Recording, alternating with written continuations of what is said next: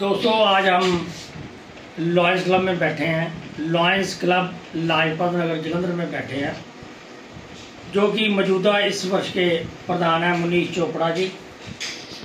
اور میں آپ کو تعارف کرانا چاہوں گا۔ میرے اس کیمپ کے جو اپنا چیئرمین ہیں، دنیش شرما جی۔ اور میں جو ابھی آپ سے بات کروں گا کہ جو کیمپ لگ رہا ہے اس کے بارے میں ڈاکٹر وجے نائک جی اور کنوینر۔ اپنا رجندر پال سنگھ جی پہل۔ دوستو یہ پچھلے لگاتار بارہ سال سے آج چھیالیواں کیمپ ہے جو لائنس کلب جلندر میں لگایا گیا۔ یہ کیمپ کیا ہے؟ یہ کیمپ ہے گھٹنوں کے درد سے چھٹکارا پانے ہیتو۔ گھٹنوں کا درد کیا ہے کہ اگر آپ کا عمر کے لحاظ سے، ویٹ کے لحاظ سے اگر آپ کے ہم ہندی میں، پنجابی میں بات کریں، جو گریس کم ہو جاتی ہے، تو ہڈی سے ہڈی لگنے لگتی ہے۔ تو اس کو ہم کہتے ہیں یہ درد ہو رہا ہے۔ اس درد سے چھٹکارا پانے ہوتے ہو۔ یہ جو ڈاکٹرز ہیں وہ کہتے ہیں کہ گھٹنا چینج کراؤ۔ تو یہ جو ڈاکٹر وجے نائک بیٹھے ہیں بھاؤ نگر سے، یہ کہتے ہیں گھٹنا چینج نہیں ہوگا۔ ہم آپ کو ایک نی بریس دیں گے۔ نی بریس کیا ہے؟ نی بریس یہ ہے کہ وہ یہاں سے باندھا جائے گا اور نیچے باندھا جائے گا۔ اور آپ کا جو جو گوڈا ہے جس کو ہم ہندی میں کیا بولتے ہیں؟ گھٹنا یہ فری ہو جائے گا۔ جب یہ فری ہو گیا اس کو چھ مہینے ہمیں ڈالنا پڑے گا۔ تو چھ مہینے ڈال کے ہمیں یہ گھٹنا جب فری ہو جائے گا آہستہ آہستہ اس میں وہ دوبارہ گریس بننی شروع ہو جائے گی۔ یہ میں نے شارٹ میں اس لیے بتایا کیونکہ ٹائم کم ہے۔ تو یہ آج میں کہتا ہوں کہ اس سے بڑھیا کام کوئی نہیں ہے۔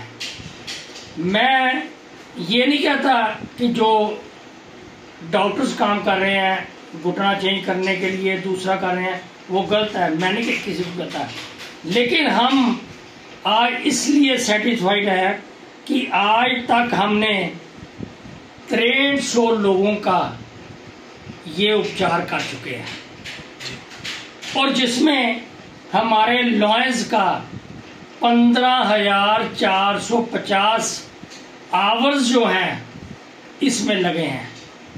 اس کا کارن یہ ہے کہ صبح سے لے کے رات تک لائنز کا جو لوگ پنجاب کے الگ الگ ضلعوں سے آ رہے ہیں، ان کو بٹھانا، ان کو یہ کرنا صبح کا ناشتہ دینا دوپہر کا کھانا دینا، شام کی چائے دینی رات کو کھانا دینا اور رات کو ان کے ٹھہرنے کا بندوبست کرنا۔ یہ سارا لائنس کلب جلندر دوارا کیا جاتا ہے؟ اس میں لائنس کے پندرہ ہزار آورز جو ہیں، اب تک لگ چکے ہیں۔ یہ کوئی چھوٹی سی بات نہیں ہے۔ اس میں اس سال کے پردھان ہیں منیش چوپڑا جی۔ اس سے پہلے پردھان تھے دنیش شرما جی۔ اس سے پہلے یہ اپنا رجندر پال سنگھ جی بیل تھے۔ اس سے پہلے اور بھی پردھان تھے۔ تو پر شاباش ہے اس ڈاکٹر صاحب کے، وجے نائک کے۔ جنہوں نے باخوبی اس کیمپ کو بارہ سال سے لگاتار اپنی سیوائیں دی اور لوگوں کو سیٹسفائڈ کیا۔ اور آج میں یہ کہوں کہ پی این آر سوسائٹی بھاؤ نگر گجرات سے جو بھی ان کے چیئرمین ہیں، جو بھی ان کے پردھان ہیں، میں ان کا سب کا شکریہ ادا کرنا چاہوں گا۔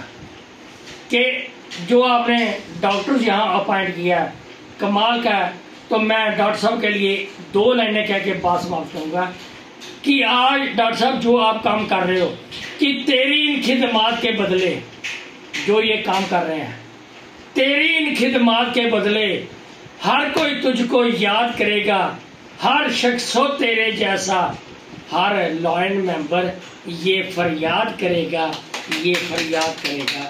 بہت بہت دھنیہ واد۔ جے ہند۔